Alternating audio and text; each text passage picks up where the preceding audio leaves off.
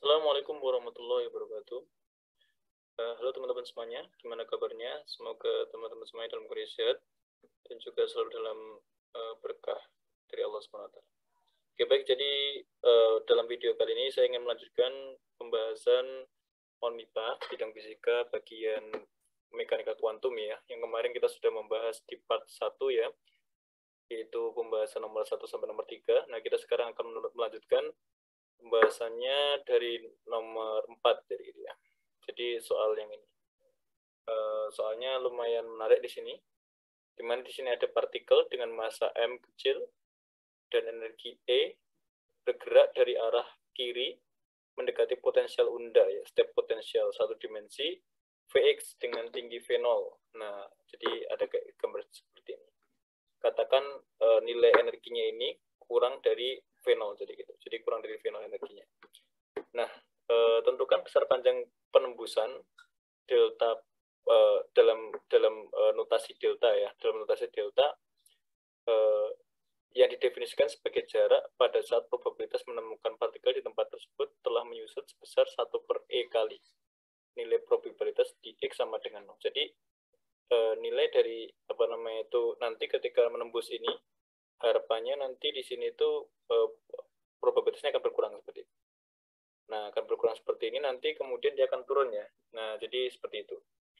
Nah, pertanyaannya berapakah uh, nilai dari delta itu sendiri jadi gitu. Nah, oke. Okay. Nah, sekarang saya akan mencoba apa namanya itu membahasnya dari uh, poin per poin ya. Nah, sekarang pertama-tama kita harus tahu bahwasanya untuk uh, partikel yang kemudian uh, partikel dalam apa ya dalam ranah kuantum ya maka nanti dia itu akan ditentukan nilai harap dari uh, ataupun nilai eigen ataupun nilai besaran-besaran fisisnya itu dengan operator fisis jadi gitu. Jadi misalkan kita mau menentukan uh, besaran fisis ataupun uh, besaran fisis, fisis dari dari A dalam sistem tersebut kondisinya suhu segini dan juga apa namanya itu partikelnya kondisinya lagi miring ataupun lagi lagi berdiri ataupun lagi berbahan gitu ya. Maka berbahan miring ataupun dengan temperatur tertentu itu nanti diwakili oleh suatu fungsi keadaan. Yang nanti juga sering disebut dengan kalau dalam notasi uh, Heisenberg ya nanti disebut dengan notasi cat ya jadi gitu ya. Jadi nanti seperti ini A bekerja kepada C itu akan menghasilkan uh, nilai uh, eigen dari A tersebut dikalikan dengan fungsi keadaannya itu. Jadi gitu. Nah, seperti ini. Nah, tapi di sini kita akan langsung spesifik ke energi. Nah, kenapa kok harus energi? Karena di sini yang diketahui adalah energi, jadi gitu. Nah, energi itu, apa namanya itu, operatornya itu adalah Hamiltonian. Jadi Hamiltonian itu ketika nanti dikerjakan ke suatu keada, fungsi keadaan, nanti dia akan memiliki nilai harap energi. Jadi gitu. Oh, sorry, maksudnya nilai eigen energi. Nah, seperti ini. Di mana kita tahu Hamiltonian itu untuk partikel dengan e, potensial tertentu, maka nanti hasilnya adalah minus bar kuadrat per 2M eh, eh, kuadrat per do x kuadrat karena hanya bergerak dalam arah x ditambah dengan v jadi gitu. Nah ini adalah eh, apa namanya itu uh, uh, apa namanya operator energinya jadi gitu operator Hamiltoniannya. Di mana C itu nanti uh, ini bisa digantikan dengan ketika dia bekerja pada suatu ruang X gitu. Maka nanti dia menjadi si X. Jadi gitu. Yang ini juga menjadi si X juga. Sebenarnya ada penurunan juga untuk gimana kok bisa ke arah sini jadi gitu. Cuman uh, mungkin saya skip dulu untuk yang itu itu ya. Nah langsung saja di sini di sini uh, saya akan uh, mau page dulu.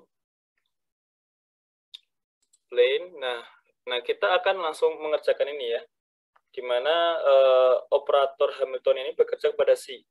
Sehingga nanti kita peroleh yang uh, sebelah kiri akan menghasilkan minus H bar kuadrat per 2M do kuadrat C per do X kuadrat plus VC sama dengan AC jadi gitu. Oke gitu ya. Nah, terus kemudian bagaimana kita kemudian uh, karena di sini cuman C-nya juga dalam fungsi X, V-nya juga dalam bahkan konstan nanti juga ya. maka nanti kita nggak usah perlu pakai turunan parsial, gitu. langsung aja pakai turunan total. Yang atau nanti ketika kita ubah ruasnya, kita memperoleh seperti ini, d kuadrat c per dx kuadrat sama dengan uh, v minus e c. Nah, tapi ingat ini sudah saya pindah ya, uh, yang h bar kuadrat per 2m nanti menjadi adalah 2m per h bar kuadrat. Jadi gitu. Oke. Nah, seperti ini. Nah, di mana uh, kita tahu kalau misalkan case-nya seperti ini ya, dan kita uh, memasukkan kondisi di mana kondisi yang setelah ya setelah uh, masuk di penetration tadi ya di kondisi di sini ya. Nah, ketika masuk ke sini ini ketika x sama maksudnya setelah x sama dengan 0 ke arah kanan gitu ya. Setelah x sama dengan 0 ini uh, potensial adalah V0. Nah, maka nanti potensialnya setelah masuk di sini nanti potensialnya adalah nah potensialnya itu nanti akan sama dengan V0 jadi gitu.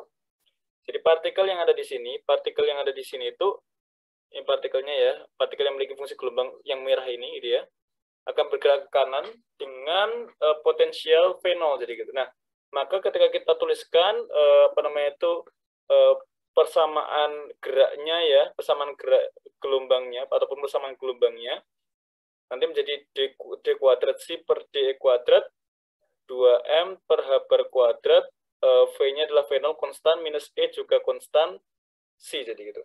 Nah, seperti ini. Karena E tidak berubah ya. Ingat energi itu tidak berubah, konstan ini. energi total. Energi totalnya ketika awal di sini ya E saja jadi gitu. Oke, nah ketika kita sudah memiliki kondisi seperti ini, maka e, V0 itu kan kurang atau lebih nih? Nah, V0-nya itu lebih ya, lebih dari E. Jadi makanya di sini yang sisi kanan itu sudah positif. Nah, ini sudah positif. Nah, solusi untuk ini, kita bisa menggunakan apa? Bisa menggunakan solusi berbentuk seperti ini. A, E pangkat eh, alfa X ditambah B, E pangkat min alfa X kan gitu ya.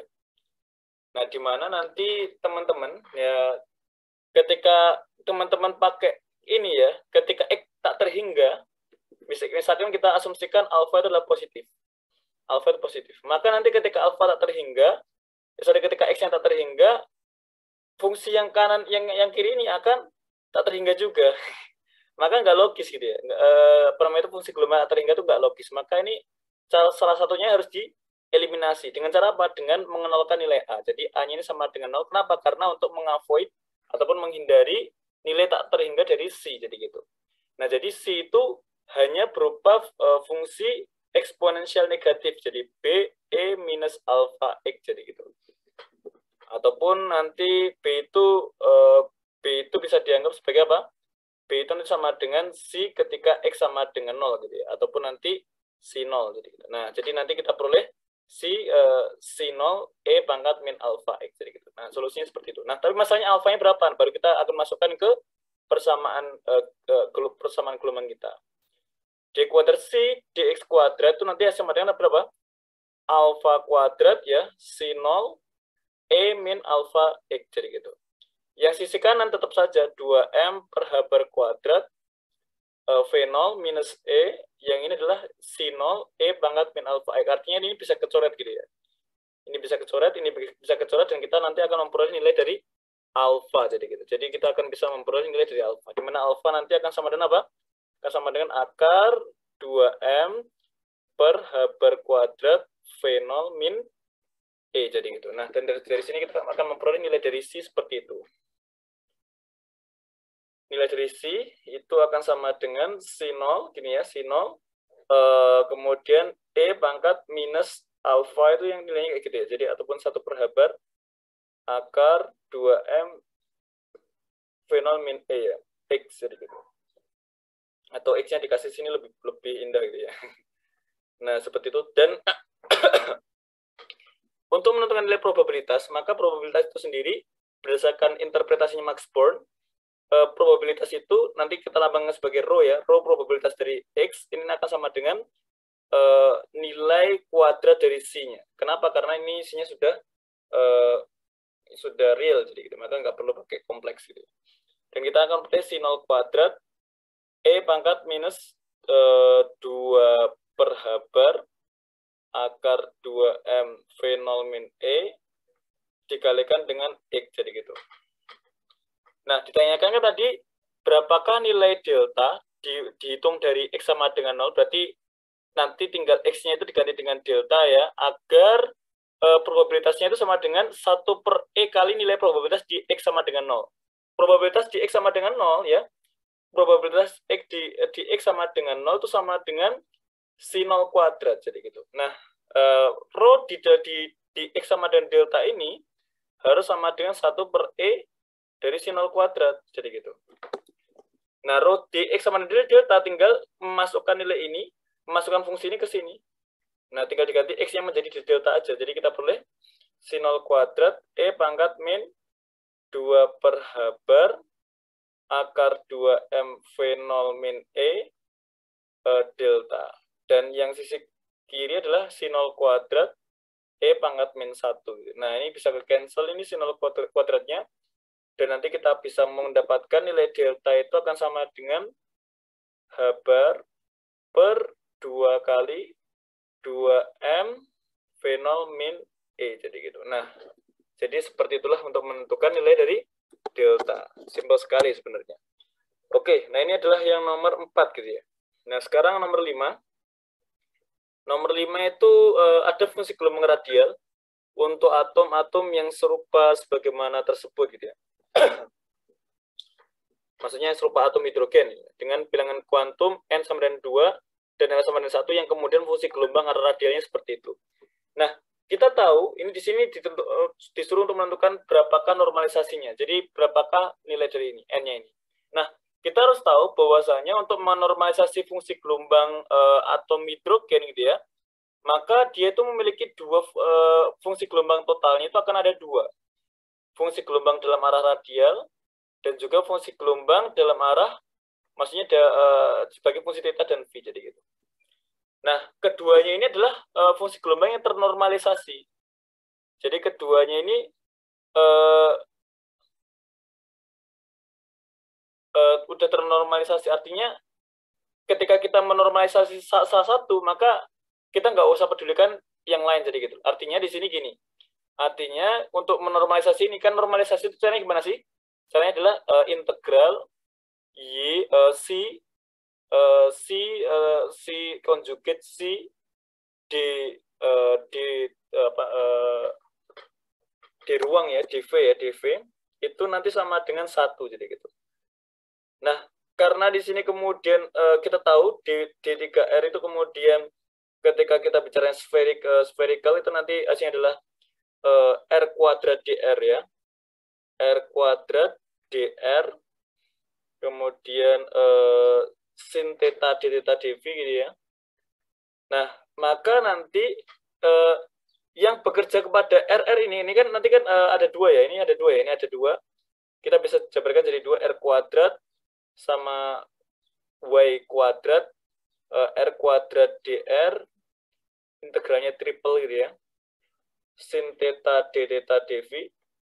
Nah, maka nanti ketika kita men mencari ini sama dengan satu, maka seperti ini aja, R kuadrat, R kuadrat dr, integral Y kuadrat, uh, sin theta, d theta, dv, jadi gitu. Nah, jadi kita harus tahu bahwasanya nilai dari yang sini ini sudah satu, ini juga sama dengan satu, jadi gitu. Jadi tidak perlu kemudian yang kiri tidak satu, yang kanan tidak satu bukan. Tapi yang uh, yang kiri sudah satu, ini juga satu juga. Artinya untuk menormalisasi uh, keduanya ini R sama Y ini keduanya sudah ternormalisasi jadi gitu. Nah, jadi tinggal kita untuk menentukan bagaimana menormalisasi fungsi radial itu tinggal R kuadrat ataupun fungsi gelombang radial dikalikan R kuadrat yaitu ya ya jarak R gitu, uh, dr jadi gitu. Dari R sama dengan 0 sampai tak terhingga. Oke, nah sekarang baru uh, kita coba uh, jabarkan di page selanjutnya ya. Oke, saya buka uh, page selanjutnya.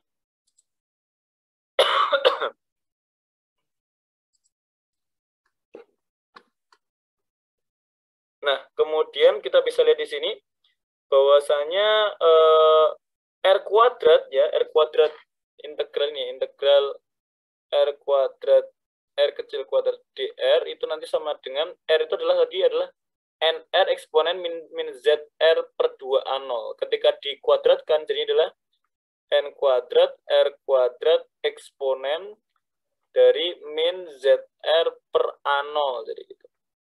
R kuadrat dr. Nah r-nya dari sama dengan 0 sampai tak terhingga jadi gitu Oke, nah ini cara menormalisasinya disama dengankan satu gitu ya. Maka nanti kita tinggal mencari integral dari ini aja. Integral dari R kuadrat eksponensial ini, R kuadrat dr. Jadi. Nah, kita sekarang mencoba ya, eh, ataupun nanti kita bisa, bisa teruskan lagi ya.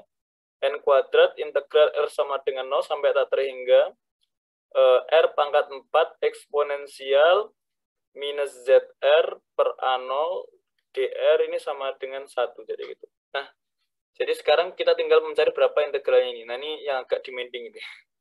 Agak panjang. Oke, ya sekarang saatnya untuk mengintegralkan. Jadi cara mengintegralkan di sini eh, kita bisa menggunakan metode uh, integral uh, integral parsial ya. Jadi beberapa kali integral parsialnya. Jadi integral dari ini ya, integral dari e min zr per A0 eh, R pangkat 4 DR eh, sama dengan eh, ini nanti ketika diintegralkan parsial maka nanti eksponennya nanti masuk ke DR dan nanti menghasilkan suatu konstanta minus A0 per Z. Gini ya berarti ini apa ini?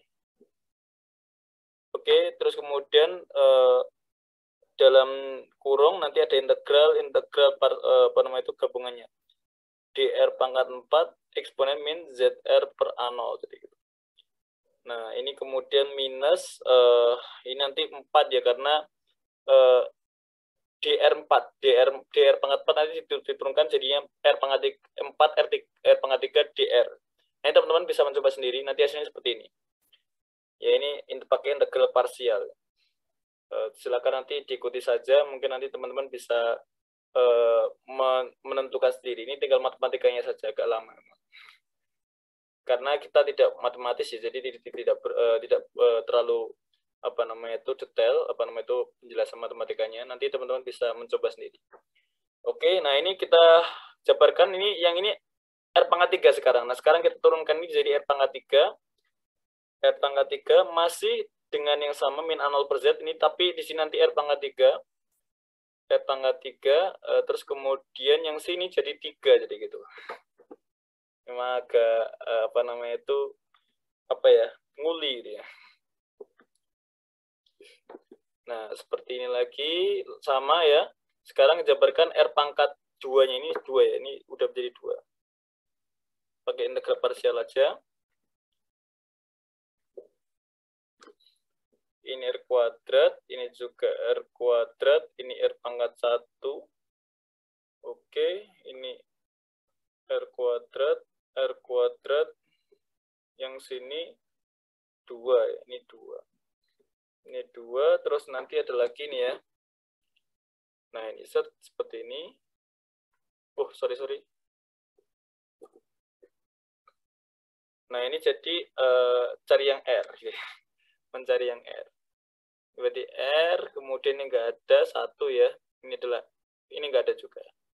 Tinggal ini nah kita sekarang lihat integral yang di dalam ini integral dalam ini tuh hasilnya akan menarik. Jadi ketika diintegralkan yang sisi kiri ini maka hasilnya di integralnya ya R pangkat 4 E pangkat min Z R per A0 nah ketika R-nya sama dengan tak, tak terhingga maka nanti akan menghasilkan tak terhingga dibagi E pangkat tak terhingga tak terhingga dibandingkan dengan E pangkat tak terhingga itu jauh lebih besar E pangkat tak terhingga. Artinya nanti tak terhingga dibagi E pangkat tak terhingga itu sama dengan 0.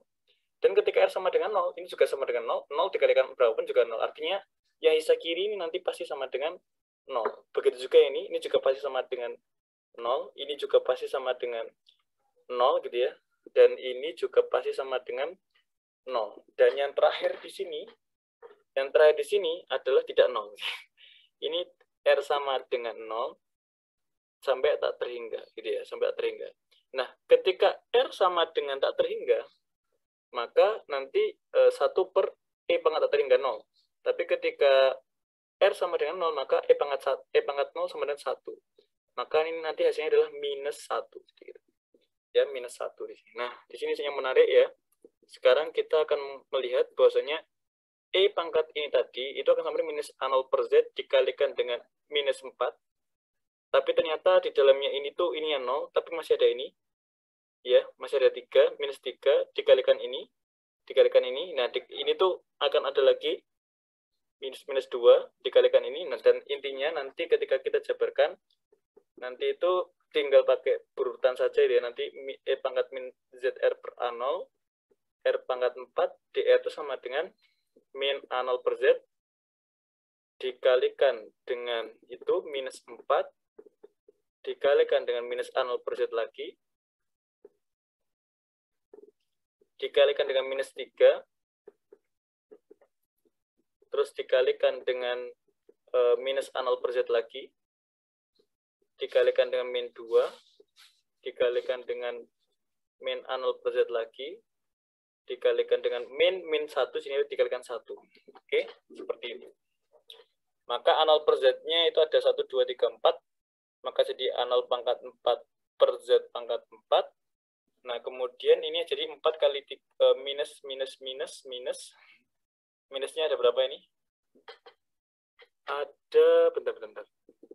Ini 1 2 3 4 5 6 7 7. Kok 7 ya?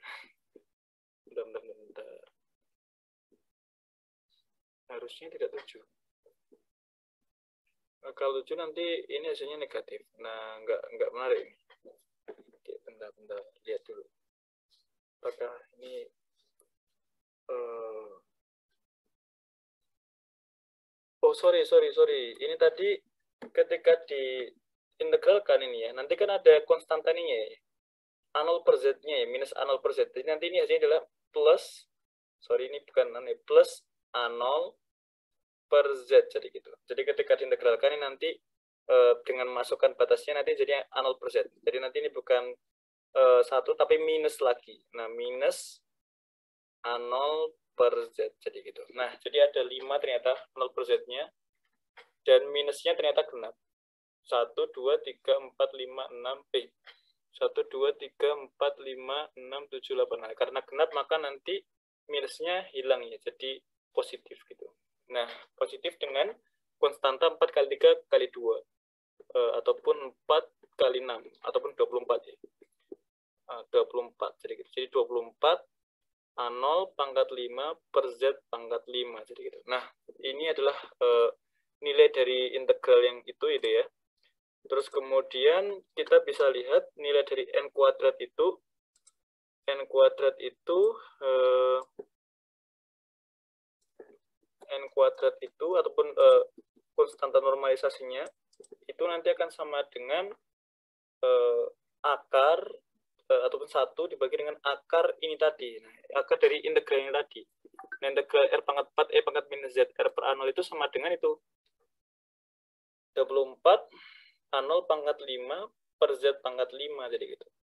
Nah, ini yang bisa keluar dari uh, akar itu adalah 4 dan juga A0 pangkat 4 per Z pangkat 4 ini adalah Z kuadrat per 2 A0 kuadrat. Sisanya adalah uh, seper akar 6 akar uh, Z per A0 jadi gitu. Nah, seperti ini adalah N-nya jadi gitu.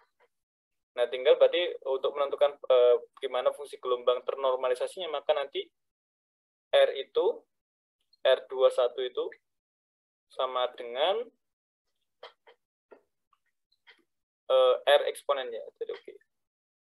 R eksponen dari itu ya. Jadi e, Z kuadrat per 2A0 kuadrat e, 1 per akar 6 kemudian eh, akar Z per A0, Z per A0 seperti ini, e, kemudian e, ada R gitu ya.